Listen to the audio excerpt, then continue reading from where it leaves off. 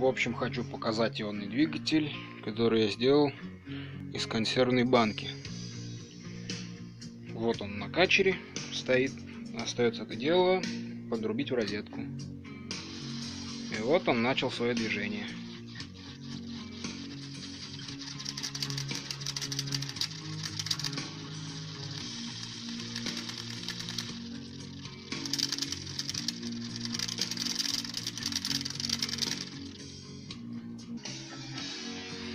Вот как это выглядит в темноте.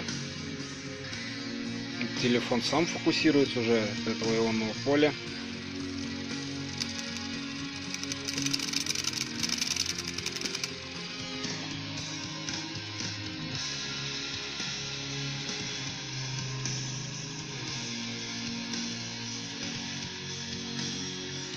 Ну вот обычная лампочка как себя ведет.